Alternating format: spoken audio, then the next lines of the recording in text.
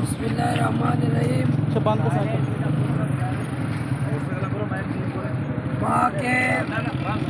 अच्छा के या डेढ़ साल। है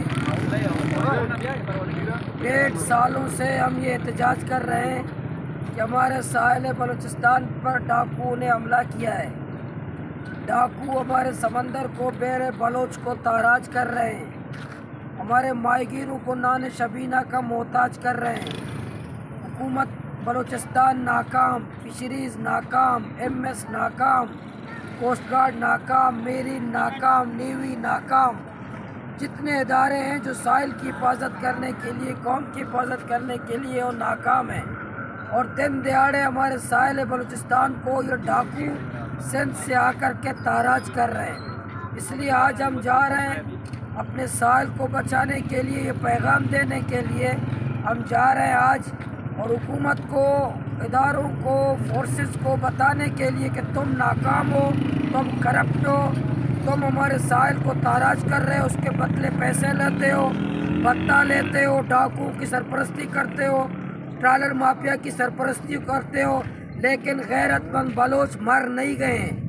गैरतमंद बलोच आज भी ज़िंदा हैं। आज भी अपने साहिल की हिफाजत करना चाहते हैं। तुम बदतखोर हो सकते हो, लेकिन गैरतमंद बलोच आज भी बलूचिस्तान में ज़िंदा हैं।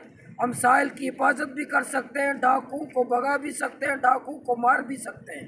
इसलिए आज हम जा रहे हैं, हुकूमत को पैगाम देने, इदारों को पैगाम देने।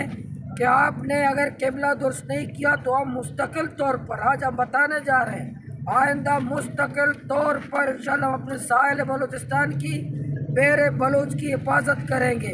और ये हुकूमत के लिए, इदारों के लिए, सिक्योरिटी इदारों के लिए शर्म की बात है, शर्म की बात है, शर्म की बात है कि तमाम टैक्स खाते हैं, असला उनके पास है एटमी कुत हो कहते हैं मुनज़म फौज अपने आप को कहते हैं, समंदर की हिफाजत के दावे करते हैं, लेकिन वो डॉलर नहीं पकड़ सकते, इसलिए नहीं पकड़ सकते कि ख्वार होंगे तो बलोच ख्वार होंगे, उनको क्या है? बदाल होंगे तो बलोच बदाल होंगे उनको क्या है? लेकिन उनको पैगाम देंगे कि हम इंशाल्लाह खैरतमंद बलोच, अपने बेरे बलोच की, अपने साहिल की हिफाजत पे करेंगे।